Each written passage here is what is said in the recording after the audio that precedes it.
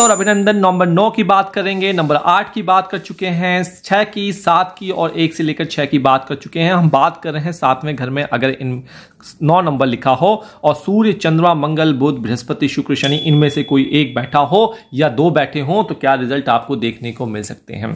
सबसे पहले आपको समझने की ये देरी है कि नंबर नौ जो होता है सेगिटेरियस धनु होता है, और ये आशा ऑप्टिमिस्टिक का, नंबर नौ कुंडली का, ये ये वाला घर होता है, गुरु का घर होता है टीचिंग का घर होता है।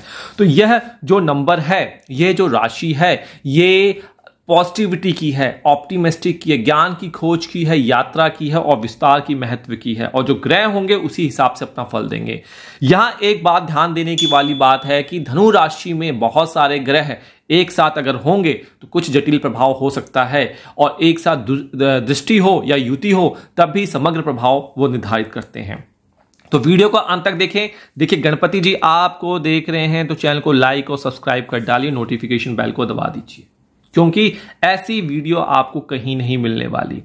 अगली बात, आपके जो ये प्लैनेट हैं, आपके चार्ट में किसी का अस्त हो सकता है, किसी का नीच का हो सकता है, किसी की डिग्री कम हो सकती है, कोई वृद्ध हो सकता है, कोई मृत हो सकता है तो ये रिज़ल्ट अपने हिसाब से चेंज करेंगे। लेकिन रिज़ल्ट वैसा ही मिलेगा। कहने का मतलब क्या है? गर्मी एक आदमी, आप ही हैं, एक गर्मी के मौसम में पानी पी रहे हैं और एक सर्दी के मौसम में। गर्मी के मौसम में आपको ज़्यादा प्यास लगेगी और सर्दी के मौसम में कम प्यास लगेगी। ठीक है जी? लेकिन जो पानी पिएँगे, वो पानी होगा और पानी जो जाएगा, वो शरीर के अंदर ही जाएगा। किसी से आप जल्द, जल्दी से तृप्त हो जाएँगे, किसी से कम तृप्त हो जाएँगे। सेम यही चीज़ आपको प्लेनेट पे लगाना है। ठीक है जी? आगे बात समझ में? विदाउट डिले किए आगे बढ़ते हैं और नंबर नौ सात नंबर में लिखा है, और सूर्यदेव बैठे हैं तो क्या? तो सूर्य धनु राशि में आपके जीवन साथी को बहुत ज़्यादा ऑप्टिमिस्टिक बनाएँगे। वो आपके ऊपर विश्वास करने वाला होगा। आपने हाँ कर दी तो वो हाँ है, ना कर दी तो ना है।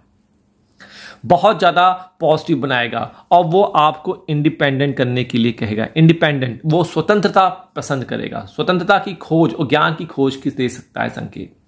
रिश्ते में सकारात्मक दृष्टिकोण एक दूसरे का समर्थन और स्वतंत्रता का सम्मान ही करवाता है। क्योंकि सूर्य जो है, वो अपने गुरु के घर में है और उनकी बहुत इज़्ज़त करते हैं। चंद्रमा, अगेन, गुरु के घर में है। इनके बीच में आपको वैदिक कहानी भी पता होगी। दोनों के बीच में कुछ ना कुछ मतभेद है।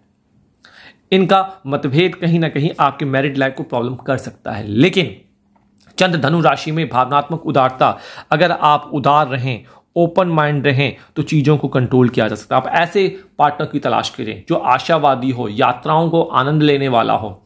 आप ऐसे जीवन साथी या बिज़नेस पार्टनर की ओर अट्रैक्ट कर सकते हैं, जो भावुक हो, सकारात्मक हो, घूमने फिरने का शौकीन हो, रिश्ते में भावनात्मक उदारता हो और एक दूसरे के साथ रोमांच तलाशने की इच्छा शक्ति रखता हो। आइए, मंगल की बात करते हैं। मंगल धनु राशि में उत्साह बढ़ा देता है। तो मतलब आप बहुत ज़्यादा इंटरप्राइजिंग होते हैं, घूमना बहुत पसंद करते हैं। यात्राओं के प्रति जुनून आपको बना देता है। आप ट्रैवलर एक अच्छे ब्लॉगर बन सकते हैं, ऐसे पति या पत्नी को ढूंढ सकते हैं। आप ऐसे जीवन साथी या पार्टनर की ओर आकर्षित हो सकते हैं जो जोशीला हो, साहसी हो, घूमने का शौकीन हो। ये सारी चीज़ें जो है मंगल ला के यहाँ देते हैं।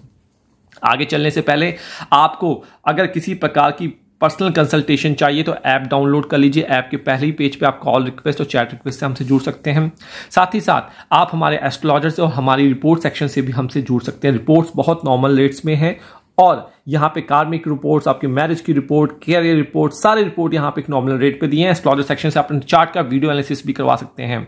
आप प्रश्न कुंडली, आप अपने स्पाउस कैलकुलेटर, सारे कैलकुलेटर फ्री ऑफ़ कॉस्ट एक बार यूज़ कीजिए। आपको बहुत बेहतरीन लगे आप अपनी सास, अपनी mother in law father in law का नेचर कैसा होगा, उनके लग्न को भी आप यहाँ से देख सकते हैं ऐप और वेबसाइट के माध्यम से। चलिए, और फ्री में एनालिसिस चाहिए तो आपको कोड सेक्शन पे जाना है फ्री कोड पे, ऐप और वेबसाइट दोनों पे उपलब्ध ये कोड चेंज होता रहता है। आपको इंस्टाग्राम फेसबुक ट्विटर पे शेयर करना है। एक क्वेश्चन आपको अलाउड होगा, और विमशोत्री दशा और चार्ट के साथ पूछ सकते हैं आप। लेकिन धैर्य बनाकर रखना है, जैसे ही आपका टर्न आएगा, तभी आपको रिप्लाई मिलेगा। सभी इंपॉर्टेंट हैं, इसलिए ये मत सोचिए कि आपको रिप्लाई नहीं मिल रहा। सभी का नंबर आने दीजिए और बार बार आप बार बार सेम मैसेज ना किया कीजिए सेम क्वेश्चन ना पूछा कीजिए। चलिए, अब यहाँ पे हम बुद्ध की बात करते हैं। बुद्ध धनु राशि में दार्शनिक चिंतन बनाता है। ऐसे जो लोग होते हैं चिंतन प्रिय होते हैं, बहुत ज़्यादा फिलोसफिकल बनाता है और ऐसा ही पार्टनर आप अट्रैक्ट करता है आपको अपनी तरफ़। साथ ही साथ, ज्ञान की खोज और विभिन्न संस्कृतियों को समझने की रुचि दर्शाता है। आप ऐसे जीवन साथी या बिज़नेस पार्टनर को पसंद करते हैं जो बुद्धिमान हो, जिज्ञासु हो और विभिन्न विषयों में रुचि रखता हो तो मल्टीपल स्किल्स वाले पार्टनर ही आपके साथ जमेंगे। तो ध्यान रखिए, अगर कोई बिज़नेस करने की सोच रहे हैं। बृहस्पति अपनी ही राशि में होगा तो हंस नाम का राजयोग बनाएगा। बहुत बढ़िया। गुरु अपनी ही राशि धनु बलवान होता है, जो ज्ञान की गहराई पॉजिटिविटी दृष्टिकोण, विस्तार की इच्छा रखता है। तो अगर आप नेगेटिव हैं तो आपका पार्टनर जो होगा, वो बहुत ज़्यादा ऑप्टिमिस्टिक होगा और आपकी बिज़नेस को और आपकी मैरिड लाइफ को आगे बढ़ाएगा। साथ ही साथ यहाँ पे रिश्तों में एक दूसरे से सीखना, सकारात्मक दृष्टिकोण और भविष्य के लक्ष्य निर्धारित करने का एक मौका हो सकता है। ठीक है जी, आइए। शुक्रदेव की बात करते हैं। अगर शुक्रदेव बैठे हो यहाँ पे बृहस्पति के घर में। शुक्र जो है, धनु राशि में आशावादी, रोमांच, विदेशी संस्कृतियों के प्रति आकर्षण का संकेत देता है। आप ऐसे जीवन साथी को पसंद कर सकते हैं जो आकर्षक हो। तो यहाँ पे यह अट्रैक्शन को बढ़ा देता है। आपका पार्टनर जो होगा, आपको हमेशा एक अट्रैक्ट करता हुआ दिखेगा। आइए, अगर शनि की बात कर लें। शनि जो है अगर आपके प्रेजेंट हो बृहस्पति के घर में तो शनि देव बृहस्पति का बहुत ज़्यादा सम्मान करते थे। तो आपका पार्टनर भी आपका सम्मान करेगा। शनि देव का ज्ञान जो होता है, आपके पार्टनर का बढ़ाता था और वह अपने पार्टनर के पथ पर चलना पसंद करते थे। तो यहाँ पे बृहस्पति की सारी बात अनुयायी जो थे, वो शनिदेव मानते थे। उसी तरीके से आपका पार्टनर भी आपकी तरफ़ आकर्षित होगा, आपकी बातों को तवज्जो देगा और आगे बढ़ाएगा। ठीक है जी? अब बात कर लेते हैं राहु। अगर राहु यहाँ पर प्रेजेंट होगा तो राहु जो होता है, थोड़ा सा अनबन कर सकता है बृहस्पति के घर में। आप कुछ अच्छा बोलने की कोशिश करेंगे, वो टोटली अगेंस्ट कर देगा। आप सही रास्ता दिखाएँगे, वो टोटली अगेंस्ट आपको करवाएगा। ठीक है जी? ये राहु हो गया। उसके बाद केतु आता है। केतु कहते हैं, केतु जो होता है, बृहस्पति का प्रिय शिष्य है। तो यहाँ पे ये आपको आध्यात्मिकता की ओर लेके जाता है। साथ ही साथ आपको हमेशा मोटिवेट करेगा। साथ ही साथ अगर आप एक दूसरे की बात नहीं मानेंगे तो बैठ कर धैर्य करना भी ये आपको सिखाता है। तो ये था आपका सभी ग्रहों का नौ नंबर में प्रभाव। फिर मिलते हैं। नमस्कार। ज्योतिष घर से कंसल्ट करना है तो आप ऐप को डाउनलोड कर लीजिए या फिर आप हमारी वेबसाइट पे आकर चेक इन कर सकते हैं और यहाँ पे आपको book call call request chat request मिलता है एस्ट्रोलॉजर सेक्शन मिलता है फ्री कुंडली मैचिंग मिलती है और अपना खुद का लॉगिन और साइन अप मिलता है। जब आप ऐप को स्क्रॉल करेंगे तो आपको प्रश्न कुंडली, निःशुल्क कुंडली और कैलकुलेटर के साथ साथ बहुत सारी सुविधाएँ जो हैं फ्री ऑफ़ कॉस्ट मिलती हैं। साथ ही साथ, और अगर आपको एस्ट्रोलॉजर से सहायता लेनी है रिपोर्ट सेक्शन में जाना है तो आप रिपोर्ट पे क्लिक करके सारी सहायता यहाँ से प्राप्त कर सकते हैं।